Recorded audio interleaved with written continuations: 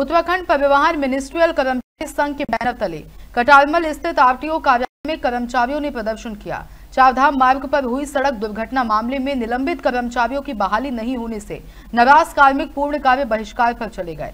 वक्ताओं ने कहा कि दुर्घटना के लिए केवल परिवहन विभाग के कर्मचारियों को दोषी ठहराना उन्हें निलंबित कर दिया गया है, जिससे कर्मचारियों में आक्रोश है। वहीं कर्मचारियों ने जल्द निलंबित कर्मचारियों की बहाली नहीं होने पर आंदोलन तेज करने की भी चेतावनी दी। अल्मोड़ा से नसीम अहमद की रिपोर्ट।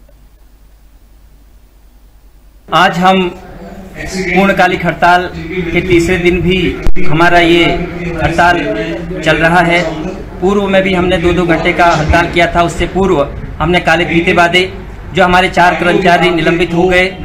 तपोवन चेकपोस्ट में हमारी जो चार कर्मचारी तैनात थे, वो निलंबित हुए हैं, लेकिन उसमें कोई अभी जाँच नहीं हो पाई और सीधे निलंबित कर दिया।